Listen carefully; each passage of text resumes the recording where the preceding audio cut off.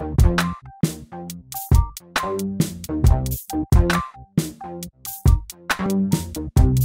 dụng chiếc máy này cũng rất là đơn giản. Chúng ta chỉ việc bỏ khay tinh dầu thơm ra và lấy tinh dầu nhỏ vào đây Lắp lại. Ở đây có một cái cổng nguồn vào, cắm dây vào. Về phần thao tác sử dụng máy thì cũng rất là đơn giản. Chúng ta chỉ việc bật nút nguồn lên. Lúc này thì đèn báo ion ngâm đã phát sáng Tức nghĩa là máy đang tự động phát ion ngâm để ờ, khử mùi cho ô tô của bạn.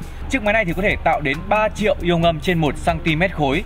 Và cao hơn rất nhiều so với các máy khác ở trên thị trường À, còn nếu như bạn chỉ muốn sử dụng chức năng khuếch tán tinh dầu thơm thôi thì à, bạn sẽ giữ vào nút nguồn trong vòng 5 giây.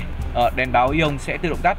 À, và nếu như bạn lại muốn à, máy phát ra ion ngâm thì bạn chỉ việc giữ vào nút nguồn trong vòng 5 giây. Tiếp theo thì chúng ta có thể à, tăng chỉnh mức quạt gió.